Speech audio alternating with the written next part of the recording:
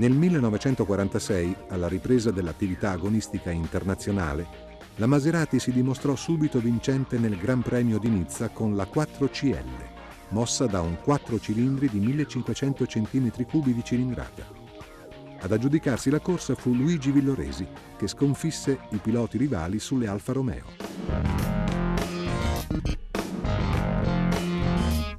Nel 1947 la Federazione Internazionale dell'Automobile diede vita alla Formula 1, regolando con norme tecniche precise la Formula Grand Prix esistente. Nel Gran Premio di Nizza fu Villoresi a vincere con la Maserati 4CL.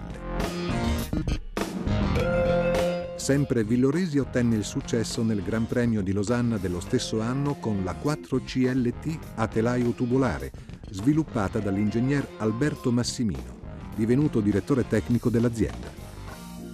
I tre fratelli Maserati, ormai solo consulenti, uscirono definitivamente dall'impresa, dando vita a Bologna all'Osca, officina specializzata nella costruzione di auto sportive.